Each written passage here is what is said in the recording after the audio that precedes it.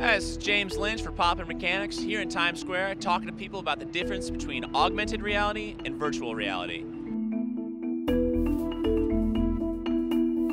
Well, virtual, obviously, augment, uh, and that one, no. Okay. Uh, I'm going to guess augmented, you get more of yourself inside of it, but I'm not sure. The augmented reality is where you know you have a real world with say some hologram overlaid on it or other cool stuff like that.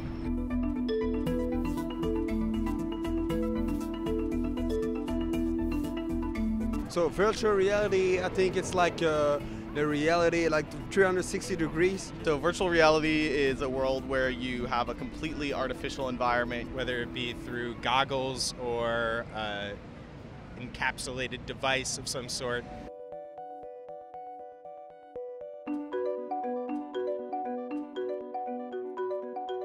Do you see any use for either of those things in your life in the next 10 years? I'll be dead in the next 10 years. Uh, Never. Never. Yeah, definitely, yeah. I think my kids are going to do use it before I do, but you know, my 13 year old, he's already using the virtual reality. Um, I was playing some like zombie type. For cooking, uh, recipes and stuff, directions like traffic and stuff like that would be really good.